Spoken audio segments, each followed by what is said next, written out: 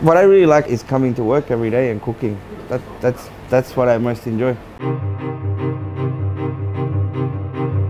Since we opened in October to the Michelin Guide came out, it took us 10 months. It was great to achieve the Michelin star, but it wasn't our main goal. When we started, there weren't that many expectations. We didn't put too much pressure on ourselves. We knew we were doing something new and we just wanted to have fun and make our guests happy.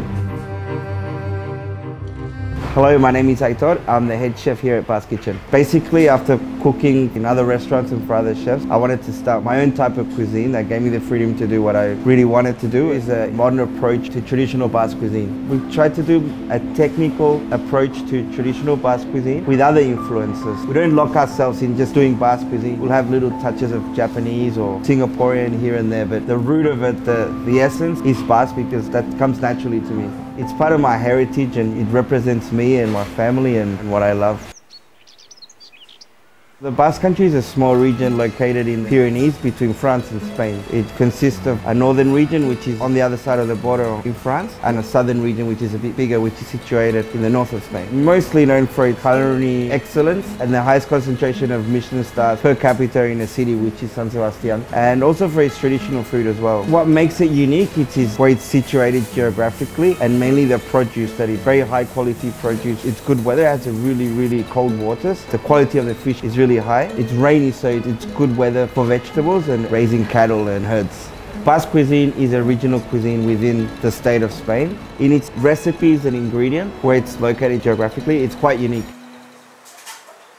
So one of my favorite dishes would be the charcoal grilled turbot with a pil sauce on the top, or donostiarra we call it in Basque. Basically, we put it on a special clamp that we brought in from the Basque country and we charcoal grill it on one side, then turn it over and charcoal grill it on the other side. We let it rest and then we serve it to our guests with a sauce on the top, which is an emulsion of garlic oil and its own collagen. So turbot is a flatfish that is found in Europe mainly, in the Atlantic Ocean, in this case in the Bay of Biscay, which is the sea which is on the north side of the Basque country and the northern northern part of Spain. We cook turbot because it's a very traditional fish and it's been used in the Basque Country in traditional cuisine for centuries and it's widely available in the Basque Country and other parts of Europe.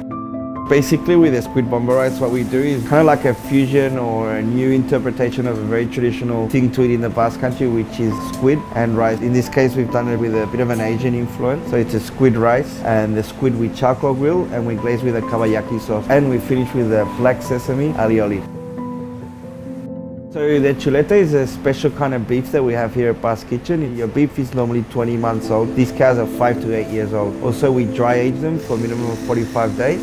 Dry aging is basically we use special fridges and what it does is dry ages the meat in a controlled environment and concentrates the flavors. It has more yellow fats, it has a more depth, beefy flavor, the fats are more buttery. It's more about the flavor than the texture. So we cut per order and we charcoal grill and we serve rare.